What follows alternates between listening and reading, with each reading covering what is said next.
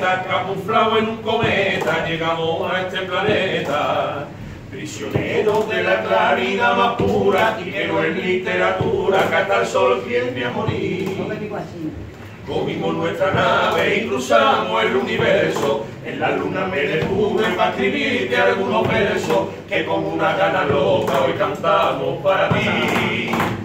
Y venimos con ojitos hasta la nuca, que aquí habrá muchos expertos que nos mirarán con lupa. Y en el espacio, y en el espacio, las estrellitas se ven más cerquita cada vez. Voy guardando. Para acariciar tu cielo y adornarlo con destello para que no haya en todo el mundo un rinconcito más bello y fue y el que me tiempo soplando para enseñarte el balneario. Y desde que aterrizamos yo lo tengo ya muy claro que mi universo para toda la eternidad queda dividido en dos